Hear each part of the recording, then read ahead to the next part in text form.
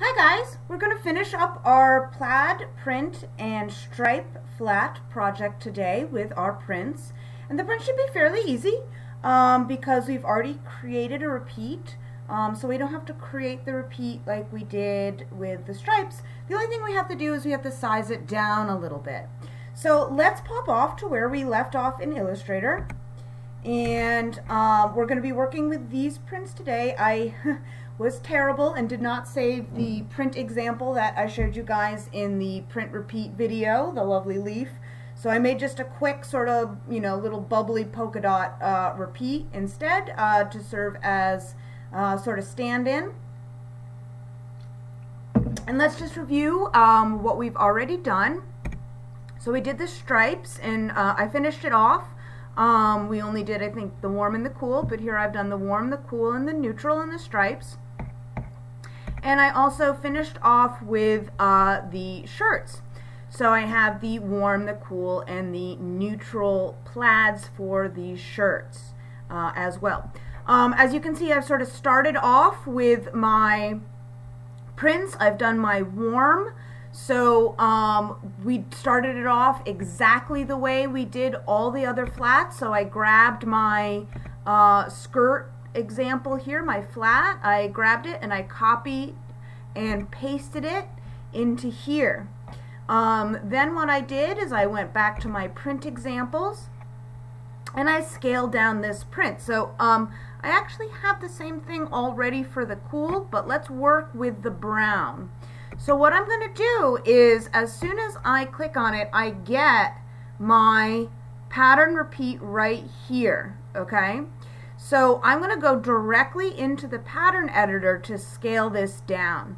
Um, so it's a little bit different than the stripes and the plaids where we scaled it and then made the repeat.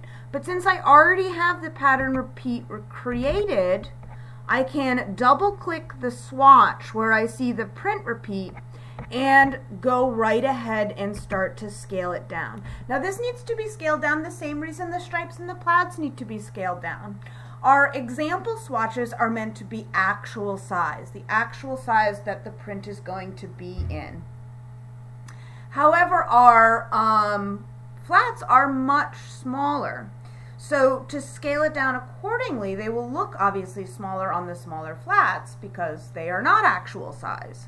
So again, we need to go ahead and scale it down. So what I'm going to do is I'm going to select everything in my print repeat right now and hold shift to scale proportionately and squish it down. Okay? Now as you can see that opens up a big space in between our tile repeat.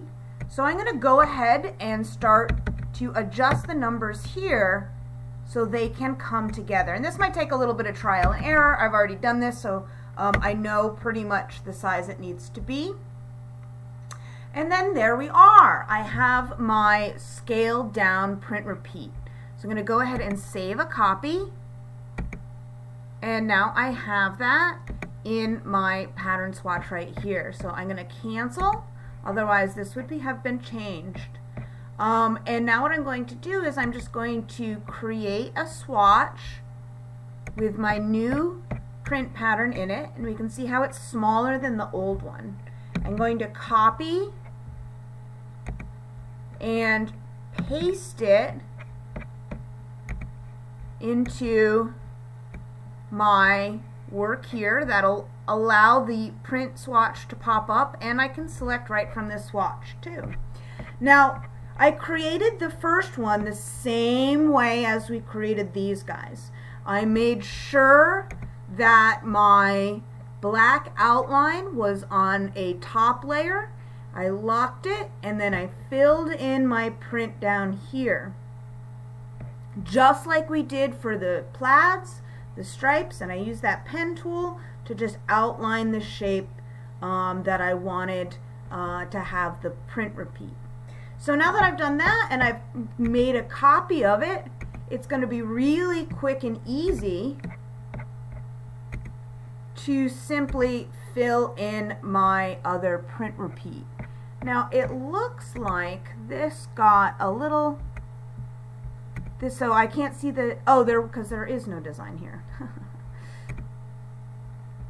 and then uh, these guys were solid colors. Just want this, and this, this, and this. Let's make that the light brown. Okay. Oh, I selected the wrong thing. I'm sorry. So if that happens, just double check. Um, because what I wanted to do was select this inner part. So I'm going to make sure that I do that. Let's double check. There we go. I had selected the black lines, which I didn't want to do. And if that's going to be tricky, just try zooming in. And actually for this, I want to make sure I have the stroke set to null.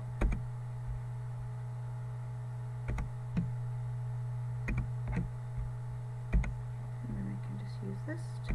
There we go. So there is our neutral skirt and like I said I already have our print design for the cool. I've done that so I can finish up real quick.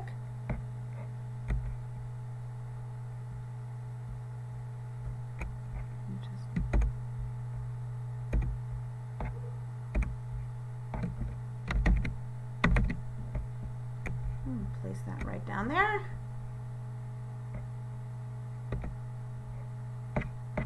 And let me make a swatch, since I've already have it in here.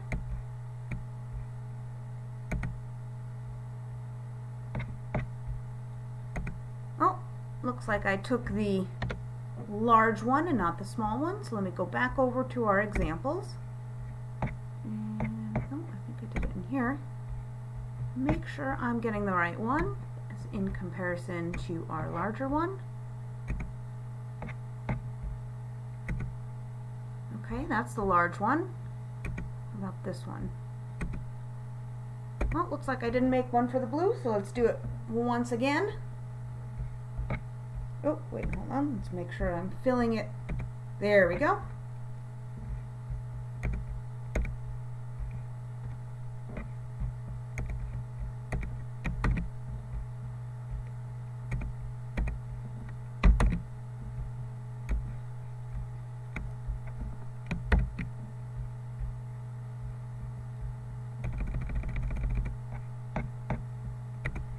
Again, this is going to be as simple and easy as just selecting and using the eyedropper tool to change our color. Let's zoom in nice and close so I get the proper selection of my color. If it's not filling in the way you want to, you may have made the same mistake I did before. Just make sure you're uh, not selecting the lines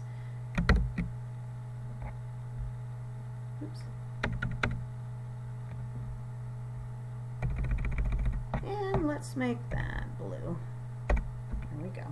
What does purple look like? See, that's what's actually I kind of like the purple. Um, that's what's nice about Illustrator too is you can once you have these sections selected, you can really just test to see what colors that you like. Actually, the pink. Eh.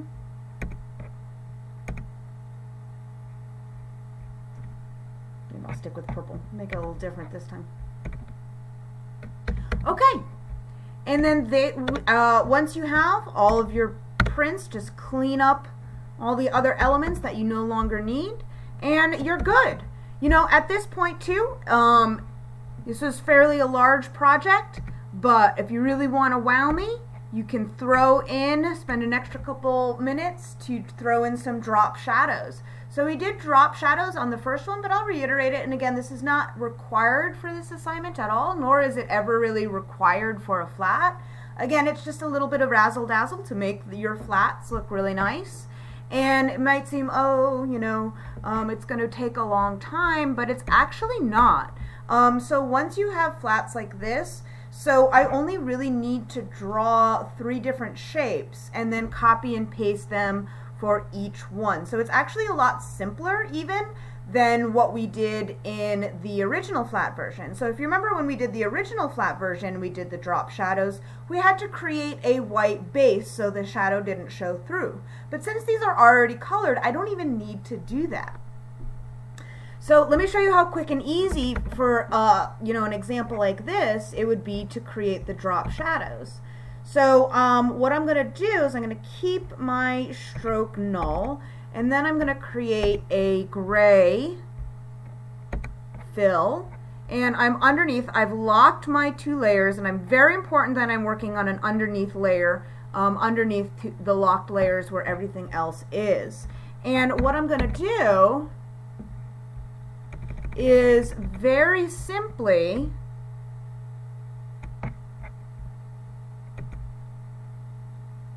just like we did before in the other example, do a quick outline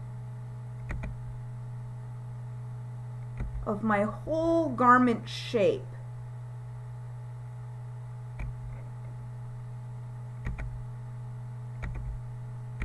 It should only take a minute, and this is really the most amount of work we're going to do. The rest is really just sort of copy pasting and positioning.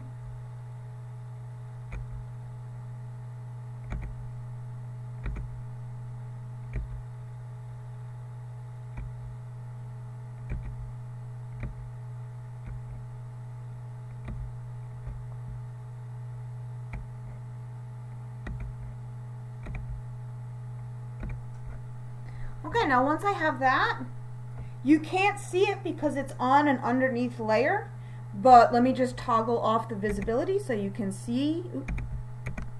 So we have our gray shape underneath.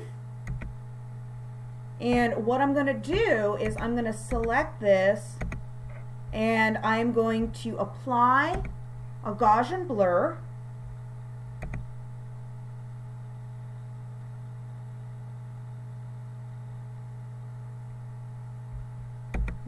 so I see maybe a little less fuzzy. Perfect. Then I'm just going to simply set it um, to the right and down. You can set it to the left and down too, or you know, however you want it. And since all my shirts are the same shape, I'm just going to copy and paste Copy, paste, and place for the rest of them.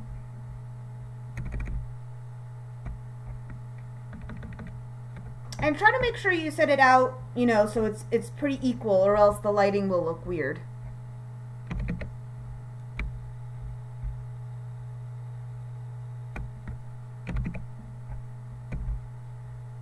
Just go in, copy, paste, and place.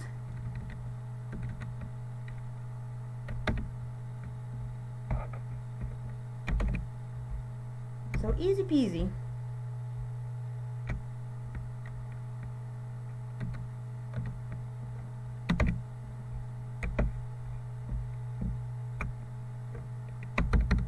So, see, and you can see this sort of effect, especially contrasted with the skirts that don't have it yet, really kind of gives that nice little pop. So again, if you want to experiment, um, uh, it doesn't take that much longer to do it. And again, um, it's not necessary, but um, especially if you're going to be putting these in a portfolio or something. Again, um, Illustrator flats, especially colored Illustrator flats, are something that almost every uh, fashion design company either requires is or is uh, definitely looking for uh, the skills to be able to do in who they hire. So any way to sort of make yourself look a little bit better than the rest or stand out from the rest or um, you know that looks like you are capable of at least little bells and whistles um, are really good and I, I, would recommend doing it. You know um, it's it's something that you know if I have you know 100 flats to do um, by the end of the day I'm not gonna bother with my drop shadow in a sort of production sense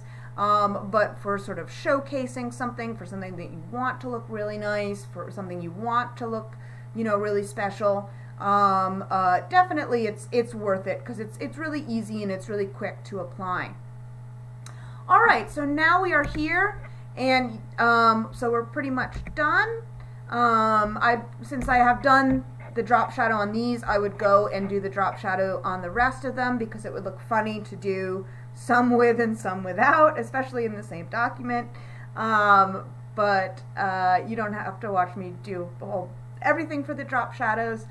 So um, I hope that this was a fun assignment for you. Um, I know there's probably a, few things that are kind of a little wiggly. Just remember to always check your layers, utilize your layers, lock layers that are not in use so you don't accidentally start to like click on them and then switch layers unknowingly. Um, play around. Those print repeats um, can be kind of tricky. Um, but hopefully uh, you are feeling fairly confident both with flats and also with uh, print repeats by the end of this project. Um, this is a big one. Uh, so usually we are having about two projects per week, but this is a fairly big one, so it's the only one. Um, any questions, just please let me know. Uh, you can also send me uh, your .ai version. So when you save the working version, you see these are all working versions, so they're .ai. That's you just um, would get that um, by going to Save As. We talked about this in the last video. Um, but you can send me the Illustrator version, the .ai file, your working file. If you are stuck or um, just something isn't going right, I can take a look at it um, and get back to you to help you. Um, don't get frustrated. take your time, take a breath, take a uh, second. If there's something that is not going right, again, check your layers, um, check the visibility of your layers, uh, all that stuff, because most of our accidents can come from that. Um, also, if something isn't filling properly, um, uh, so you'll see, let's say I want to do a box over here and I want it to be filled with this pattern and you say, oh, I'm clicking it, I'm clicking it, it's not happening. Well, what happened is it filled in the stroke because my stroke was placed in the forefront. So double check, double check to see what's happening here in your fill and your stroke. So if I click on my fill, so it's now in the foreground, it's above the stroke, and I click here, then it will fill. Um, and that can be really easy to um, confuse you. I've been confused by it many times, so double check to see what's going on in your fill and your stroke um, and you know have fun um, so uh, again uh, please ask any questions and I can't wait to see uh, your flats and your prints and your fun stripes and everything else.